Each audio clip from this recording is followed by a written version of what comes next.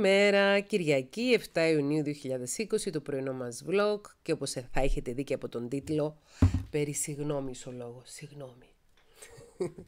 Μου έχετε ζητήσει τρεις διαφορετικές φίλες του καναλιού να κάνουμε αυτό το θέμα και το βρήκα πολύ ενδιαφέρον να γίνει ως θεωρητικό vlog. Διαβάζω το πρώτο σχόλιο. Λέει μια φίλη, θα μπορούσαμε να κάνουμε και θέμα για τη συγγνώμη, ναι μπορούμε και ναι κάνουμε. Πώς ζητείτε χωρίς να προσβάλλει τον άλλον και πώς να το διαχειριζόμαστε κι εμείς οι ίδιοι μέσα μας; Η συγνώμη πρέπει να ζητείτε επειδή οφείλετε ή επειδή έχουμε πραγματικά μετανιώσει; Κατά τη γνώμη μου, η συγνώμη πρέπει να είναι ειλικρινής και πραγματική.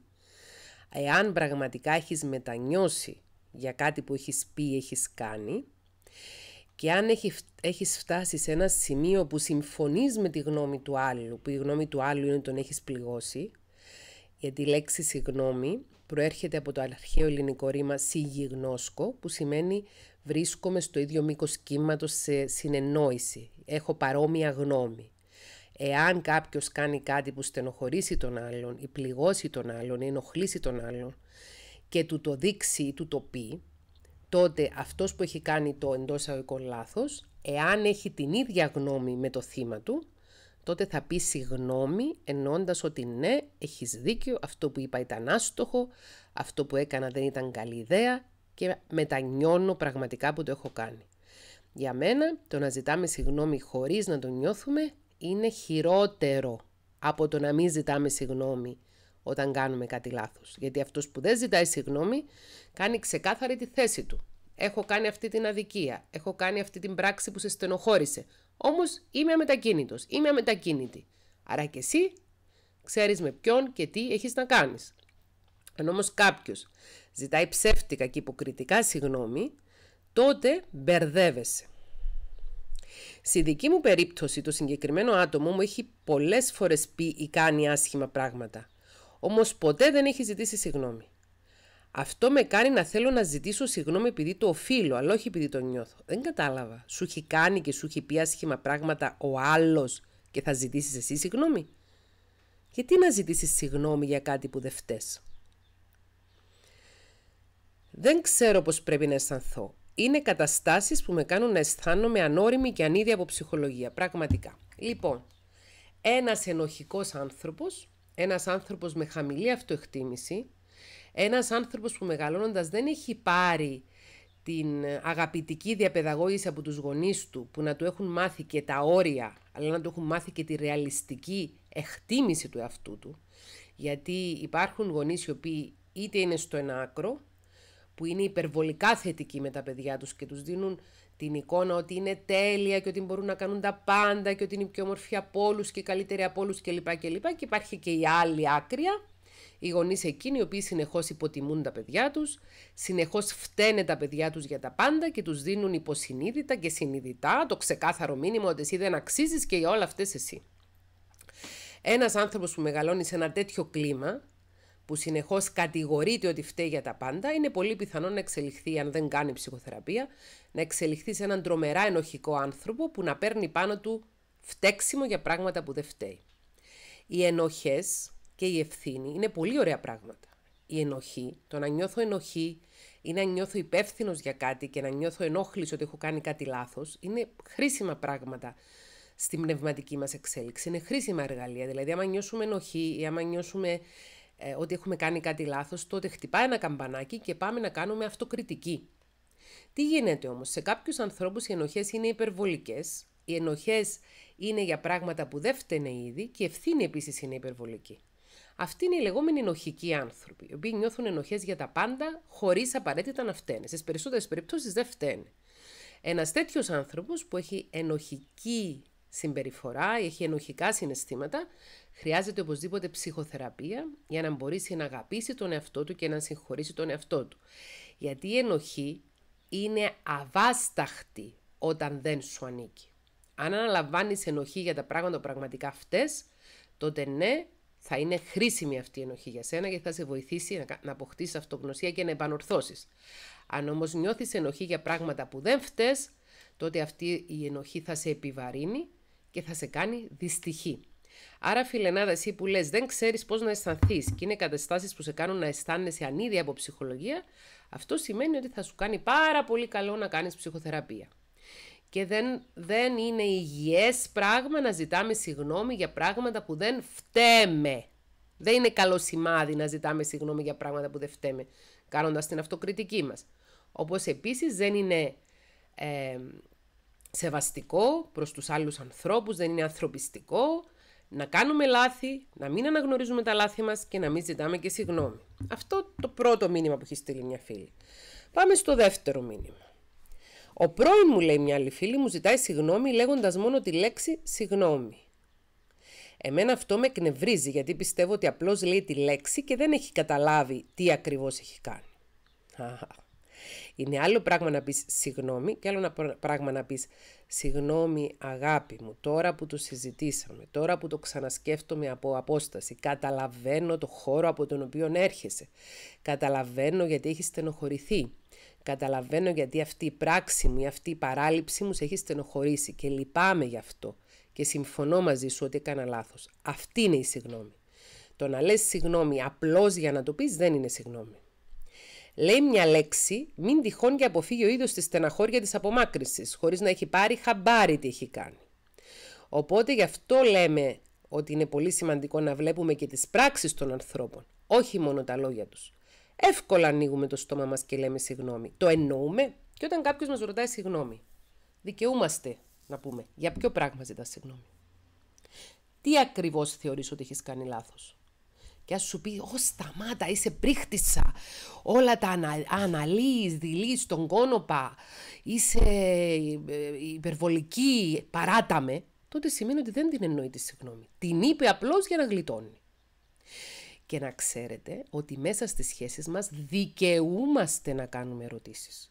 Δικαιούμαστε να δηλώσουμε αυτό που είπες με ενόχλησε, αυτό που έκανες με στενοχώρησε και όταν ο άλλος ή η άλλη ζητήσει συγγνώμη, να πούμε για ποιο πράγμα ακριβώς ζητάς συγγνώμη, τι ακριβώς έχεις καταλάβει.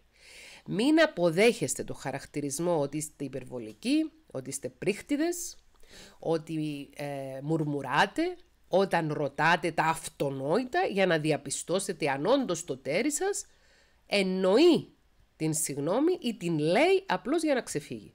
Spoiler alert, οι περισσότεροι άνθρωποι στις μέρες μας λένε τη λέξη συγγνώμη σαν καραμέλα, όπως λένε δυστυχώς και τη λέξη αγαπώ σαν καραμέλα, χωρίς να την εννοώ.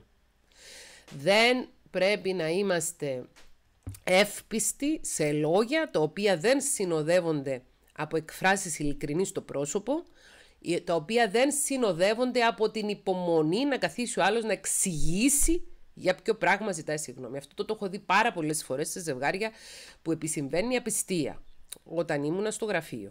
Για 20 χρόνια, όπως γνωρίζετε οι περισσότεροι από εσάς πιστεύω, έβλεπα κόσμος ιδιώτης στην Κύπρο, σε γραφείο.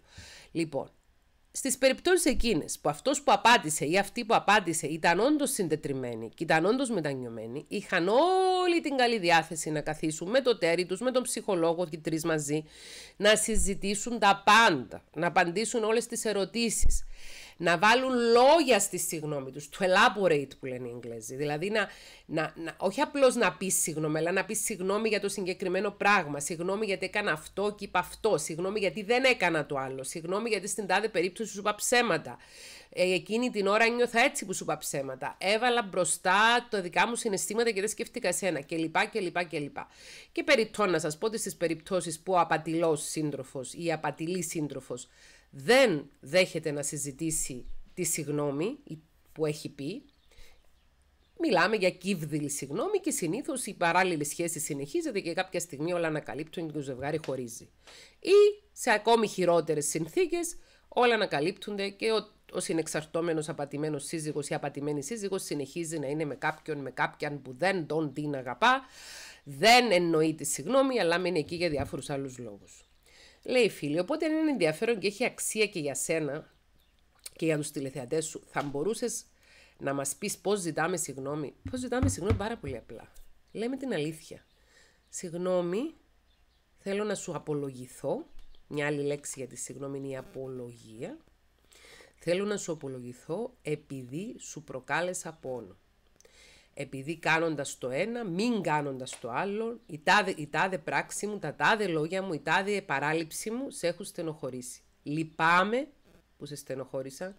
Εκ των υστέρων αναλογιζόμενος, αναλογιζόμενη το συμβάν και το περιστατικό για το οποίο συζητάμε, αντιλαμβάνομαι ότι λειτουργήσα με έναν τρόπο που δεν ήταν καλός για σένα. Ήμουν, ε, ήμουν άδικος απέναντί σου, ήμουν άδικη απέναντί σου. Δεν σκέφτηκα τα συναισθήματα σου, ήμουν σκληρός, ήμουν σκληρή. Λυπάμαι που σε έχω στενοχωρήσει και θέλω να σου εκφράσω τη συγνώμη μου, ειλικρινά. Και μετά που θα σου την εκφράσω, είμαι διατεθειμένος, είμαι διατεθειμένη να μιλήσω μαζί σου, να σου συμπαρασταθώ για το κακό που σου έχω προκαλέσει. Όχι συγγνώμη σκέτο και μετά δεν θέλω άλλη συζήτηση, μας τα έχεις πρίξει. Αυτό δεν είναι συγγνώμη. Είναι υποκρισία. Ποια είναι τα ιδρυτικά της συγγνώμης λόγια, δεν ξέρω. Ε, αυτό που έχω πει τώρα, δηλαδή ότι Τη λέμε τη συγγνώμη, but we elaborate on it. Αλλά μιλάμε περισσότερα λόγια για τη συγγνώμη. Την εξηγούμε. Αυτός που λέει συγγνώμη μπορεί να εξηγήσει για ποιο πράγμα λέει συγγνώμη. Μπορεί να καταλάβει ακριβώς τι κακό έχει κάνει και μπορεί να σκεφτεί κιόλας και τρόπους ώστε να μην το κάνει ξανά στο μέλλον. Ποια είναι τα στάδια; Δεν ξέρω αν έχει στάδια συγγνώμη. Είτε κάποιος αντιλαμβάνεται το λάθος του και το παραδέχεται και ζητάει ειλικρινά συγγνώμη, είτε δεν αντιλαμβάνεται το λάθος του, δεν το παραδέχεται και ζητάει ψεύτικα συγγνώμη. Και εκεί η ψεύτικη συγγνώμη είναι κατανοητή και αντιληπτή, γιατί πρώτα απ' όλα αυτός που λέει συγγνώμη δεν σε κοιτάει στα μάτια, κοιτάει κάτω. Δεν δέχεται να συζητήσει περισσότερο επί του θέματος. Τη λέει γρήγορα για να τελειώνει και πάμε παρακάτω συνεχίζοντας την ίδια στάση που είχε και προηγουμένως. Και λέει φίλοι γιατί συγγνώμη ακούω και συγγνώμη δεν αισθάνομαι. Εάν δεν αισθάνεστε συγγνώμη να το πείτε. Τώρα που μου λες συγγνώμη δεν το αισθάνομαι ότι το εννοείς. Δώστε την ευκαιρία στον άλλον να εξηγήσει. Εάν έχει την ικανότητα να εξηγήσει και την ικανότητα να μιλήσει για δύσκολα πράγματα συναισθηματικά, και να μιλήσει για τα γεγονότα που οδήγησαν στο σημείο να χρειαστεί να πει συγγνώμη, τότε είναι πάρα πολύ πιθανό να είναι ειλικρινής η συγγνώμη. Αν δεν δέχεται να το συζητήσει, όχι. Και λέει αυτή η φίλη, παρότι προσωπικά συγχωρώ αμέσως σχεδόν και χωρίς να μου ζητήσουν συγγνώμη. Γιατί το κάνεις αυτό, Γιατί συγχωρείς αμέσως και χωρίς να σου ζητήσουν συγγνώμη; Κακός. Αλλά είναι σημαντικό για μένα όταν κάποιος ζητάει συγγνώμη να μην είναι μια σκέτη λέξη που δεν πείθει να σταματήσουμε να συγχωρούμε αμέσως τους ανθρώπους, έστω και δεν μας έχουν ζητήσει συγγνώμη. Όταν ο άλλος ή άλλη κάνει κάτι που μας έχει στενοχωρήσει, που μας έχει πληγώσει, δεν υπάρχει λόγος να τον την συγχωρήσουμε, γιατί ακριβώς αυτό το συνέστημα ότι ο άλλος μας έχει βλάψει είναι χρήσιμο συνέστημα για να προστατευτούμε από αυτόν τον άνθρωπο στο παρόν και στο μέλλον. Είναι βλακώδες να συγχωρούμε αυτούς που μας κάνουν κακά, χωρίς καν να ζητήσουν συγγνώμη. Συγγνώμη που στο λέω, φιλενάδα, είναι βλακώδες. Άλλο πράγμα, αν για τη δική σου ψυχική ισορροπία, ηρεμία και τη δική σου πνευματικότητα αργότερα όταν έχεις ξεπεράσει ή ονδήποτε κίνδυνο από αυτό το πρόσωπο, γιατί πλέον δεν είσαι παντρεμένη μαζί του, για παράδειγμα, πλέον δεν είσαι σε ερωτική σχέση μαζί του, ή πλέον έχεις σταματήσει την οποιαδήποτε συνεργασία, ή έχεις κόψει επαφές. Εάν από μόνος σου μόνο σου, από μέσα σου. Θες να συγχωρήσεις κάποιον που σε έχει βλάψει στο παρελθόν και πλέον δεν μπορεί να σε βλάψει, τότε κάντο. Όχι όμως την ίδια ώρα που σε βλάπτει κάποιος, την ίδια ώρα να το συγχωρείς. Γιατί εκεί συγγνώμη σημαίνει ότι εκθέτεις τον εαυτό σου ανεπανόρθωτα ίσως και μακάρι όχι ανεπανόρθωτα στους κινδύνους της συμπεριφοράς του οποιοδήποτε ασυνείδητου, ο οποίος δεν αντιλαμβάνεται τα λάθη του, δεν σε σέβεται και δεν έχει μετανοήσει και δεν μπορεί να καταλάβει τι νιώθεις. Γιατί το συγγνώμη, συ και γιγνώσκω, γνωρίζω μαζί, συγγνώμη σημαίνει γνωρίζω τι νιώθεις και έρχομαι στο ίδιο σημείο συναντήληψης μαζί σου. Άρα είναι λάθος, επικίνδυνο για την ψυχική μας υγεία και ισορροπία, να συγχωρούμε ανθρώπους που μας κάνουν κακά αμέσως, χωρίς να ζητήσουν συγγνώμη και χωρίς να περάσει ένα χρονικό διάστημα που να έχουμε προστατευτεί από αυτούς. Μην φοβάστε το συνέστημα του να νιώθετε αδικημένοι, τον θυμό του αδικημένου, την απόγνωση του αδικημένου. Το οποιοδήποτε συναισθήματα, μπορεί, αρνητικά συναισθήματα μπορεί να συνοδεύουν μία πράξη που μας έχει αδικήσει. Γιατί αυτά τα συναισθήματα μπορεί να είναι πολύτιμη βοηθή στο να καθαρίσουμε τον τόπο από τους τοξικούς που μας ρουφούν το αίμα. Άρα δεν συγχωρούμε κάποιον ο οποίος δεν έχει μετανοήσει, δεν έχει ζητήσει συγγνώμη και έχει, με βάση τη συγχώρεσή μας, θα έχει σκαλοπάτι να πατήσει για να μας ξανά κακοποιήσει.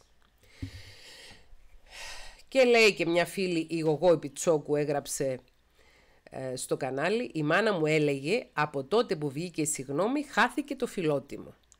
Και επίσης υπάρχει και το άλλο που λέει συγγνώμη είναι μισοχέσιμο. Καταλαβαίνω εγώ την παροιμία που λέγει η μάνα σου με την έννοια ότι κάποιοι άνθρωποι χρησιμοποιούν το, τη συγγνώμη ως πασαπόρτη, ως διαβατήριο, για να λένε και να κάνουν ό,τι θέλουν. Λέω και κάνω ό,τι θέλω και μετά λέω και ένα συγγνώμη από πάνω και γλιτώνω. Αυτό μου θυμίζει μια ιστορία που λέει ο πατέρας μου και η μάνα μου για την παιδική μου ηλικία. Εγώ είχα μιλήσει πολύ νωρίς. Είχα μιλήσει, ξέρω, γύρω στο ένα έτος ή πριν από το ένα έτος, λέει ο πατέρας μου ότι μίλησε. Δεν γνωρίζω, πάντως έχουν κάποιες κασέτες που, που μιλάω και τραγουδάω ένα μισή ετών. Που φαντάζομαι πολλά παιδιά μιλάνε και τραγουδάνε ένα μισή ετών. Τέλος πάντων, μου είχα μάθει οι γονείς μου να λέω τη λέξη παρακαλώ. Όταν ζητάς κάτι να λες παρακαλώ. Πρέπει να ήμουν ένα μισή έτους και έλεγα, μου δίνεις τη σοκολάτα σε παρακαλώ. Και έλεγε ο πατέρας μου, Όχι, δεν δικαιούσε να βάζαλει σοκολάτα. Μα είπα σε παρακαλώ! Μα είπα σε παρακαλώ! Και έκανε ολόκληρο. Και έκλαια και οδηρώμουνα γιατί, σαν ένα μωρό 18 μήνων, θεωρούσα ότι από τη στιγμή που είπα σε παρακαλώ, ο άλλος ήταν υποχρεωμένος, ο γονιός μου, να κάνει ό,τι του ζητούσα, έστω και αν αυτό ήταν προς ζημιά μου. Έτσι και αυτή η τύπη με τη συγγνώμη. Μα αφού είπα συγγνώμη, σημαίνει ότι επειδή είπες συγγνώμη, την εννοείς τη συγγνώμη, ή ότι επειδή είπες συγγνώμη, είμαι υποχρεωμένη, είμαι υποχρεωμένος να σε τρώ στη μάπα. Α; Ο θυμός δεν είναι κακό συνέστημα όταν κάποιος μας βλάπτει. σα ίσα μας δίνει την ενέργεια για να ξεκαθαρίσουμε καταστάσεις και να κόψουμε δεσμούς με αδιάγνωστους ανθρώπους οι οποίοι δεν αλλάζουν με τίποτα.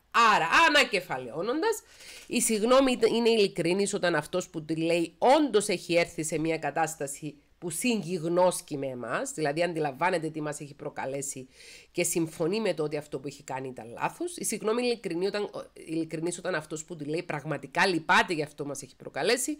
Η συγγνώμη είναι ειλικρινής όταν κάποιος μετά που θα την πει είναι διατεθειμένος να καθίσει να εξηγήσει να μας δώσει να καταλάβουμε ότι κατάλαβε περί τίνος πρόκειται και να κάνει amends που λένε οι Εγγλέζοι, δηλαδή να επιδιορθώσει τη σχέση. Οτιδήποτε άλλο δεν είναι αποδεκτό και ξαναλέω ότι δικαιούμαστε να διώχνουμε από τη ζωή μας ανθρώπους οι οποίοι είναι δηλητηριώδεις, τοξικοί προς εμάς.